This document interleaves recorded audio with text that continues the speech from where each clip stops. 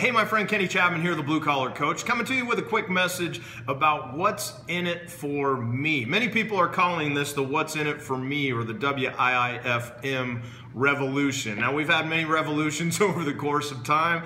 They've, some have served their purpose, some have not served their purpose, but here's the thing this is not a What's in it for me revolution. This is human behavior, this is human nature. This is the way people do certain things and what motivates them. Here's what I want you to take away today. Be with me just real quick.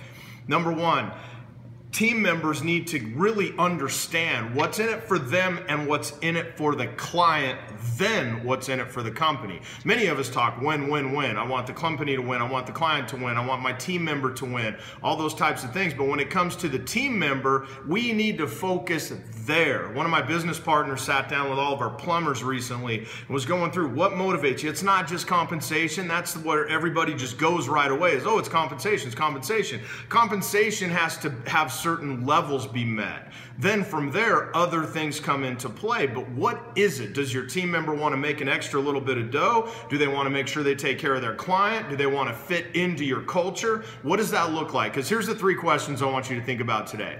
Think about this with your team. There's three things that they answer when every time they get ready to put to provide an option sheet. They go through, they do a great discovery process. They're following our 12-step pro, uh, process to the ultimate client experience. They go back out to the truck. They're getting ready to craft their options, and there's three things that happen. Number one, they answer a question.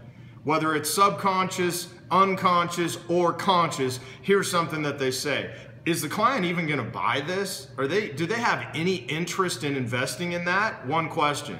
They're going to make an answer. Second question, how long is this going to take me and what kind of a pain in the you know what is this going to be to complete this work? Second question, usually subconscious. Third, how much money will I personally earn? If you're on an incentive based pay program, your technicians go, How much is this going to mean to me and my family and is it the right thing for the client? Those are three questions that are being answered, my friend, and based on the answers dictates the type of presentation they're going to make. It totally dictates the option sheet that they're going to provide and the level of enthusiasm and benefits that they bring to offering those things to your clients.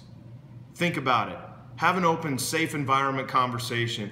Get to the point where you get that they're answering these questions. Let's help them find the answer of what's in it for them and their client then the company wins. I'm Kenny Chapman, the Blue Collar Coach. Until we talk again, have a better than fantastic day, and I'll see you soon.